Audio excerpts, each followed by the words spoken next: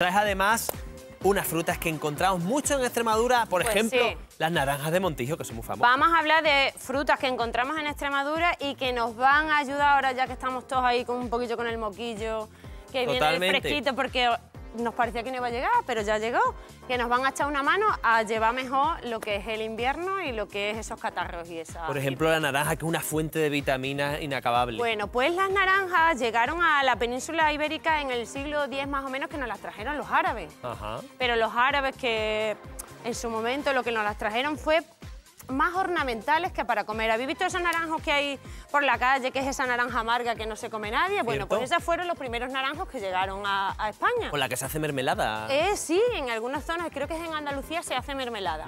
Pero luego ya un poquito más tarde, pues nos llegaron estas variedades de naranja dulce. Os he traído aquí a grandes rasgos la naranja de mesa y la naranja de zumo. ¿Por qué digo a grandes rasgos? Porque eh, sabéis que hay muchas variedades de naranja. Naranja nave, la, nel- la nelate, es que tienen unos nombres así, navelina. Raro.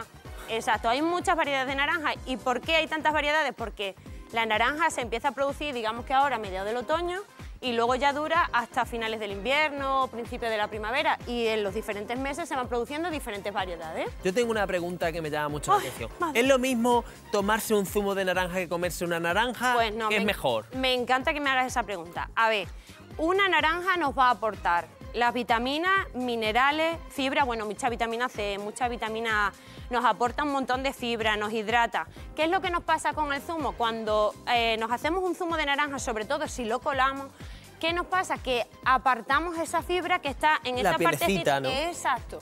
Que está en, esta, en estas arañitas blancas que constituyen los gajos de la naranja. Ahí es donde está la fibra. Entonces, cuando nos tomamos un zumo de naranja, que con esto no quiero decir que dejéis de tomar zumo de naranja por porque está buenísimo, sobre todo si es natural, pero ¿qué hacéis? Vais a consumir más azúcar y os vais a, vais a quitarle un montón de fibra y en la fibra, en esas telillas que recubren, que hacen los gajos, también hay otra serie de vitaminas, de minerales y de nutrientes que los vais a quitar con el zumo. ¿Vale? Para conservar la naranja, ¿qué consejo nos das tú? Vale. Vosotros vais a comprar vuestra naranja. Lo primero te voy a decir cómo Sí. la compras. ¿Cómo comprarla? Bueno, lo primero que Porque te esta tiene que está más bien durita, ¿A que ¿no? está durita? Sí. Vale, la naranja tiene que estar durita. Tiene que pesar. ¿Por qué? ¿eh? Pues porque si no pesa la naranja es que está seca. Ahora tú llegas y te la llevas a tu casa.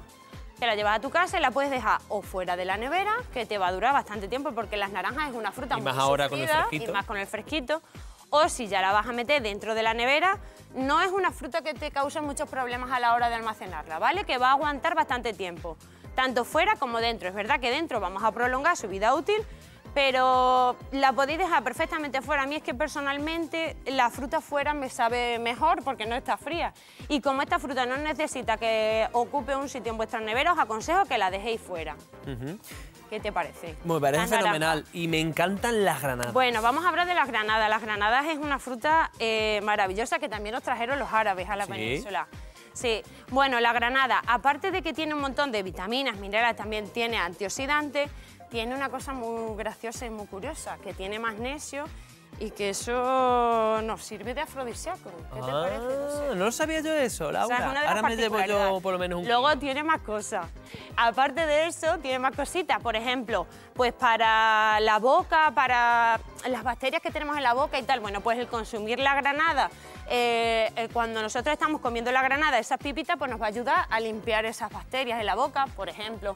Nos va a ayudar también a combatir el estreñimiento, nos va a ayudar también a la hora de saciarnos, porque cuando consumes la pipa también esto va haciendo que te sacies. Sí. Ahora os voy a enseñar una cosita. Eso que te iba a decir, porque a- lo que nos tienes que ayudar tú es a abrirla y a pelarla, que es lo que no sabemos nadie. A ver, yo quiero que vosotros consumáis granada y sé que mucha gente no la consume porque ve esto así y dice, uy, ¿y eso ahora qué yo cómo lo abro?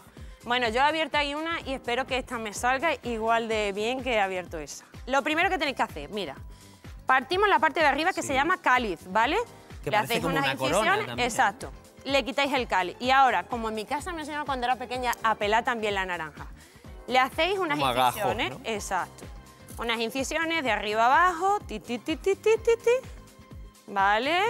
Y ahora, ¿qué vamos a hacer? Pues simplemente vamos a ir abriendo uno a uno los gajos de la, de la perdón, iba a decir de la naranja. De la granada. De la granada, ¿vale? Y como veis ya es súper fácil. Os ponéis en un cuenquito y la vais sacudiendo y os va a salir. Se, le da aquí como en el culete, ¿no? Sí, A y veces. si coges una cucharita, cogéis con Sí, una y va cucharita. saliendo, va saliendo. Coges esto y con una cucharita, mira, perdóname, con Sí. una cucharita le vas dando así y se van A ver. cayendo dentro. Mira, Entonces, hemos notado que esta, por ejemplo, bueno, yo, por ejemplo, en casa seguro que también la has notado, Sí. que esta está un poquito más madura Más madura que, esta, que ¿no? esa. ¿Cuál es la clave para elegir Vale, la granada Pues eso os vais a dar cuenta en la piel. Por ejemplo, aquí veis que os he traído dos variedades diferentes. Esta es la que vais a ver aquí en nuestra tierra, porque yo creo que casi todo el mundo que tiene un granado eh, eh, y ha visto las granadas ha visto esta variedad. Esta variedad viene de fuera, pero os lo he traído para que veáis que esta granada por dentro está completamente roja, al igual que van hasta esta, aunque esta la veis tan roja por fuera. El truco, pues mira, esta tiene la piel, por ejemplo, más blanca, con lo cual está menos madura. Esta tiene la piel un poquito más roja, ¿veis que las manchas estas son un poco más pálidas? Sí. ¿Vale? Esta va a estar más blanca, esta va a estar más rojita por dentro, o sea, va a estar más madura y esta menos madura. Esa es una de las formas que tenéis para poder elegir la granada para que esté más madura. Otra cosa que os digo de la granada, bueno, pues igual que la naranja tiene que pesar, tiene que estar dura y la piel tiene que estar brillante. Cuando la piel de la, de la granada se empieza a secar, empieza a coger un tonillo así como opaco. Y entonces ya digamos que se empieza a pasar. Y por último, Laura, vamos a hablar de la mandarina. Bueno, pues la mandarina, que es la prima hermana de la naranja, también... prima pequeña, La prima decir. pequeña, que nos gusta a todos mucho. Sí. Bueno, pues la mandarina también nos la trajeron los árabes, al igual que, que la naranja. Entró, entró sobre el siglo X en la península. Mandarina, ¿qué os cuento? Hay muchas variedades de mandarina. ¿Por qué? Por lo mismo que la naranja, porque vamos desde ahora, mediados del otoño, hasta finales del invierno, durante esos meses os vais a encontrar diferentes variedades. Os encontráis desde esta pequeñita, que Sí, mucha gente le llama pequeña, no sé por qué. chupi, que es clemenule, por ejemplo, o esta que es una clementina. ¿Propiedades que tiene la mandarina? Bueno, pues también tiene mucha vitamina C. Es verdad que la naranja tiene más vitamina C que la mandarina, pero aparte de la vitamina C también tiene vitamina A, es muy saciante, nos aporta muchos nutrientes. Cuando vienes de hacer, por ejemplo, algún ejercicio físico, que todo el mundo, por ejemplo, dice, pues un plátano por el potasio, Ajá. bueno, pues también, También es una recomendable mandarina. una mandarina para que no, nos complemente o nos supla esa pérdida que hayamos tenido a lo largo de hacer el ejercicio. Bueno, pues la mandarina nos viene muy bien. Selección de la mandarina. Pues lo mismo, tenéis que coger vuestra mandarina y es importante que la mandarina pese. Las mandarinas las podéis encontrar. ¡Uy!